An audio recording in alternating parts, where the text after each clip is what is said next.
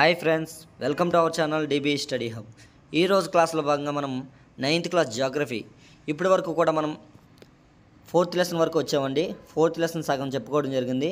ఇప్పుడు fourth lesson కంటిన్యూగా చెప్పుకొని ఈరోజు ఫోర్త్ లెసన్ అనేది కంప్లీట్ చేసుకుందాం. ఓకే రెండు వేల ఇరవై మూడులో ఉన్నటువంటి నైన్త్ క్లాస్ జాగ్రఫీ అండి. ఎస్జిటి ఎస్ఏ వారికి చాలా బాగా ఉపయోగపడుతుంది.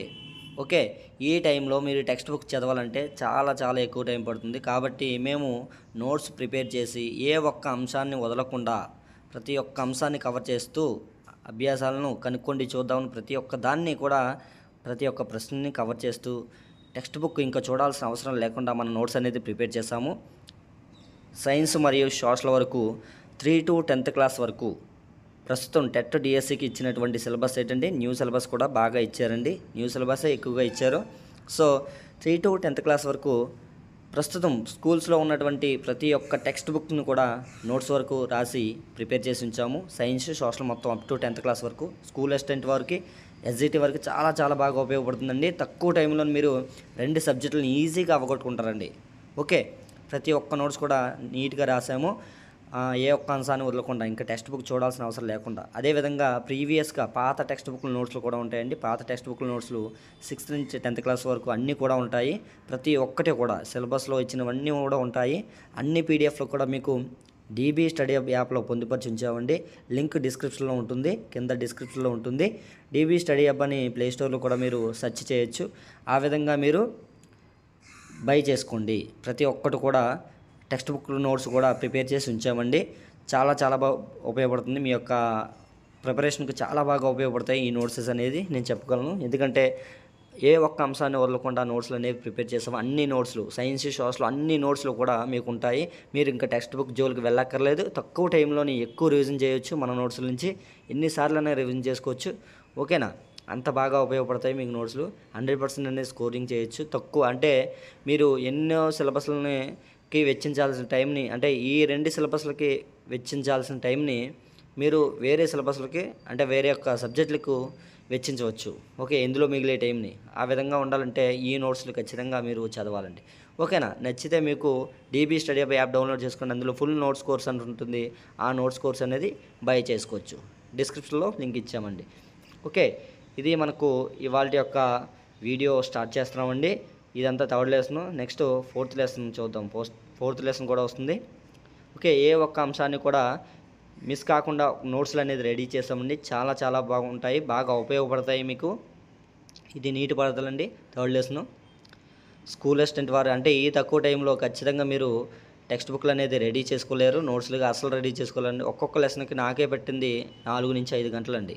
అంటే బిట్ ఏ విధంగా ఇవ్వాలి ఎలా ఇవ్వాలి ఏంటి అన్నది ప్రతి ఒక్కదాన్ని బేరీజ్ వేసుకొని బిట్ పోకుండా ఉండాలంటే ఏ విధంగా మనం ప్రిపేర్ చేయాలి అనేది చూసుకొని ఇచ్చామండి. ఇప్పుడు ఫోర్త్ క్లాస్ ఫోర్త్ లెసన్ అండి శీతోష్ణ స్థితి. ప్రీవియస్ ప్రీవియస్గా చెప్పినటువంటి క్లాసులన్నీ కూడా మనకు యూట్యూబ్లో ఉన్నాయి. మన యొక్క ఛానల్లో మొత్తం అన్ని చూడండి. ఆల్రెడీ చెప్పేశాము ఇవన్నీ కూడా. ఇప్పుడు నెక్స్ట్ క్లాస్ చెప్తున్నామండి. ఓకే నెక్స్ట్ క్లాస్ ఎక్కడి నుంచి కంటిన్యూ అవుతుందంటే మనకు కర్కట రేఖ వరకు చెప్పుకున్నాము. కర్కట రేఖ టాపిక్ వరకు చెప్పుకున్నామండి అక్షాంశాలు. ఓకే? ఓకే అక్కడి నుంచి కంటిన్యూ చేద్దాము. కర్కట రేఖ నుంచి కంటిన్యూ చేద్దాము శీతోష్ణ స్థితిలో కర్కట రేఖ నుంచి ఇప్పుడు ఈరోజు కంటిన్యూ చేద్దాము. ఓకే ఇప్పుడు మనము ఈ యొక్క కర్కట రేఖ వరకు అంటే అక్షాంశం శీతోష్ణ స్థితిని ప్రభావితం చేసే అంశాలు ఉన్నాయి కదండి. అందులో అక్షాంశం వరకు చెప్పుకున్నాం. ఇప్పుడు ఎత్తుకు చెప్పుకుందామండి. ఎత్తు. హిమాలయ పర్వతాలు సగటు ఎత్తు ఆరు వేల మీటర్లు. హిమాలయ పర్వతాలు సగటు ఎత్తు ఆరు వేల మీటర్లు. ఇవి కూలంకషంగా కూడా ఫస్ట్ లెస్లో చెప్పుకున్నామండి. మధ్య ఆసియా నుంచి వచ్చే శీతల భవనాలను అడ్డుకునేవి హిమాలయాలు.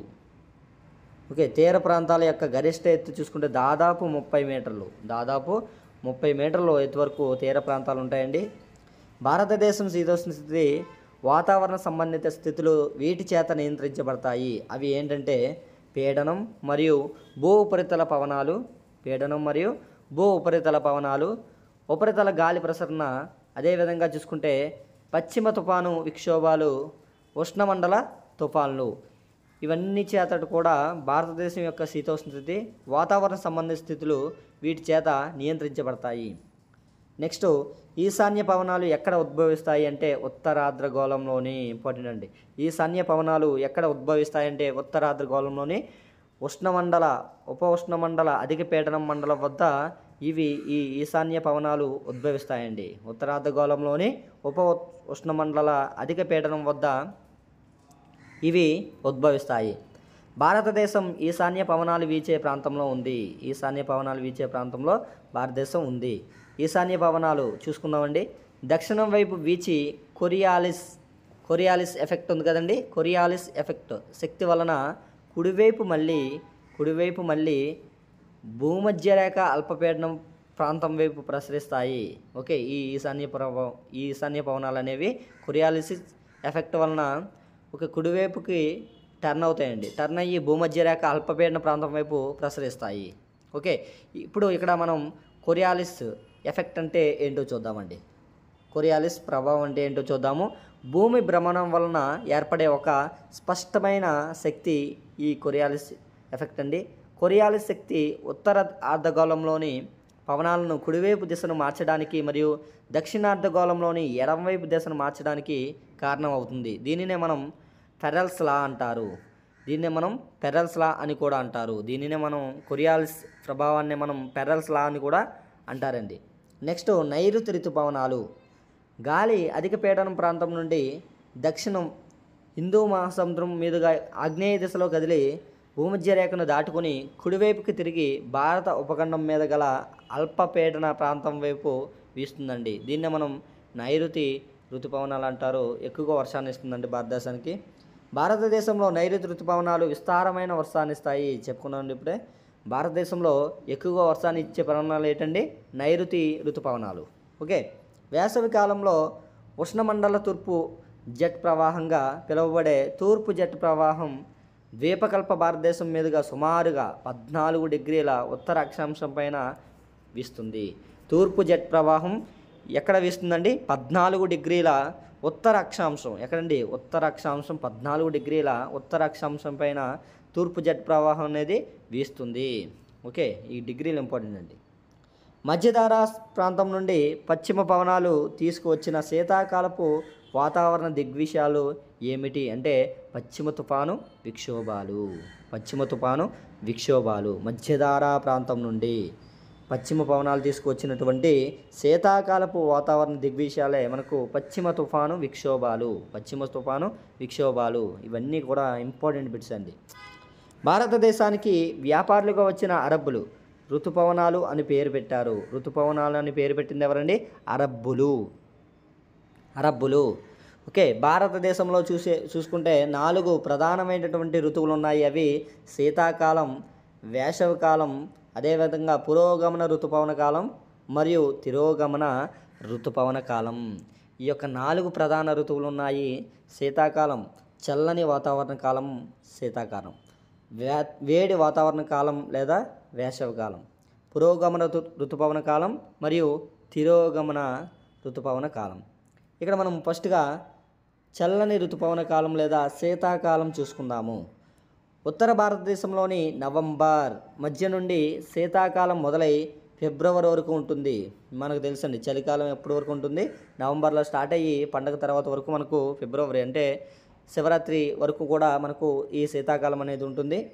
ఉత్తర భారతదేశంలో డిసెంబర్ జనవరి నెలలు అత్యంత చలిగా ఉంటాయి. ఉత్తర భారతదేశంలో డిసెంబర్ మరియు జనవరి నెలలు అత్యంత చలిగా ఉంటాయండి.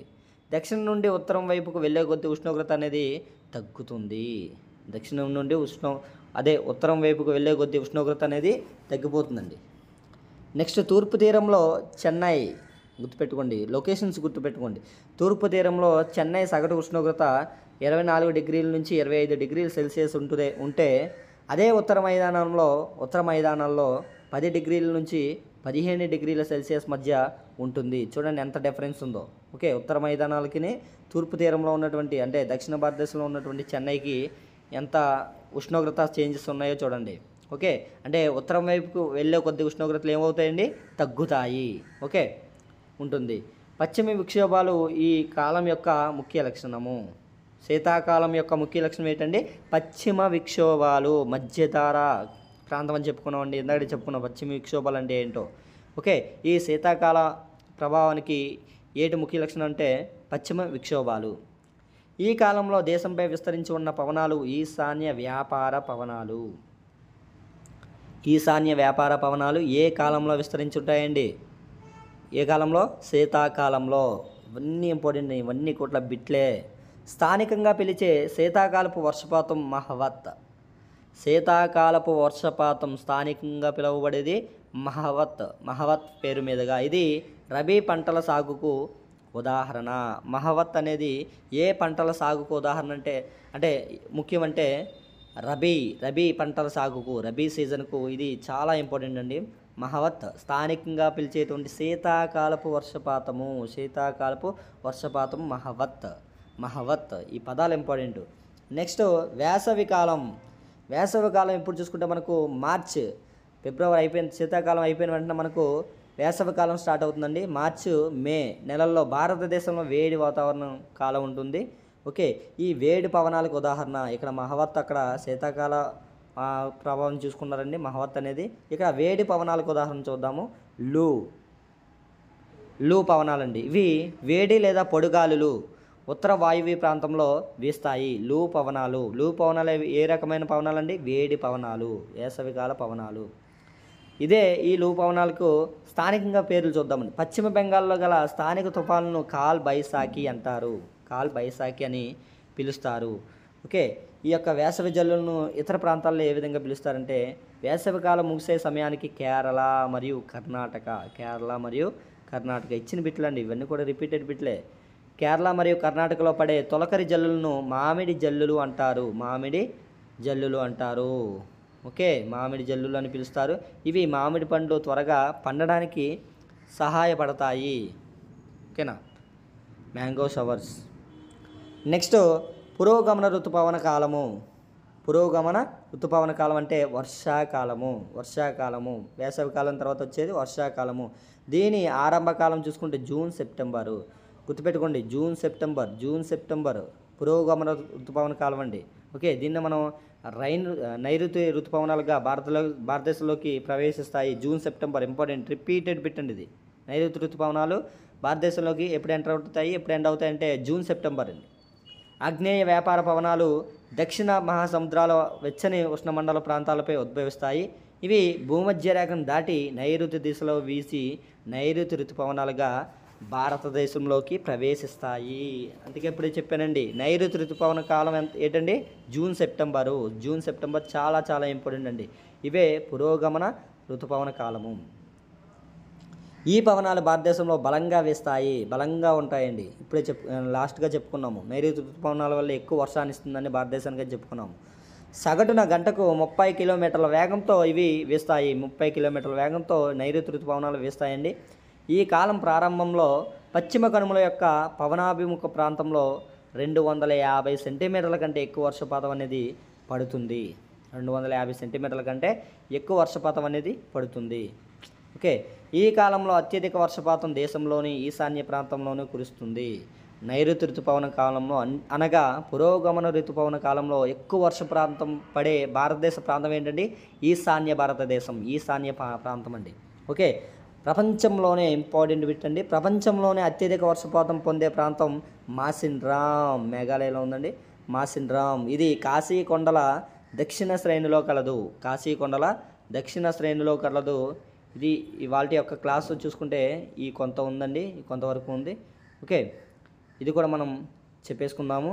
ఓకే లేకపోతే నెక్స్ట్ క్లాస్లో చూద్దామండి. క్లాస్ అనేది లెంతీ అవుతుంది కాబట్టి నెక్స్ట్ క్లాస్లో మనం చూద్దాము. నోట్స్ కూడా మీరు స్టాప్ చేసుకుని రాసేసుకోండి లేకపోతే. ఓకే ప్రతి ఒక్క అంశాన్ని కూడా వదలకుండా మనం చెప్పడం జరుగుతుందండి. అభ్యాసాలు కూడా. ఓకే అభ్యాసాలు చూసుకుంటే ఈ క్రింది వాణిలో ప్రపంచంలో అత్యధిక వర్షపాతం నమోదయ్యే ప్రాంతం చూసుకుంటే మాసిన్ రామ్. ఇప్పుడే చెప్పుకున్నామండి. అభ్యాసాల్లో మనకి ఇవ్వడం జరిగింది. వేసవి కాలంలో ఉత్తర మైదానంలో వీచే పవనాలు. ఇప్పుడు చెప్పుకున్నామండి నోట్స్లో లూ పవనాలు. వేసవి కాలంలో అదే శీతాకాల వర్ష పవనాలు అంటే మహవత్ స్థానికంగా. వాయువ్య భారతదేశ భాగంలో చలికాలంలో ఈ క్రింది వాటిలో దీని వర్షపాతానికి కారణమవుతుందంటే పశ్చిమ పశ్చిమ విక్షోభాలు పశ్చిమ విక్షోభాలు. నెక్స్ట్ ఋతుపవనాలు భారతదేశంలో దాదాపుగా ఈ సమయంలో ప్రవేశిస్తాయంటే జూన్ ప్రారంభంలో ఋతుపవనాలు అనేవి ప్రారంభ సం ప్రవేశిస్తాయండి. క్రింది వాటిలో ఏది భారతదేశంలో చలికాల లక్షణంగా ఉంటుంది అంటే వెచ్చని పగలు మరియు చల్లని రాత్రులు. ఇవి భారతదేశం యొక్క చలికాల లక్షణాలండి. ఓకే? ఓకే ఇది ఇవాళ యొక్క క్లాస్ అండి. నెక్స్ట్ క్లాస్లో మళ్ళీ కలుద్దాము.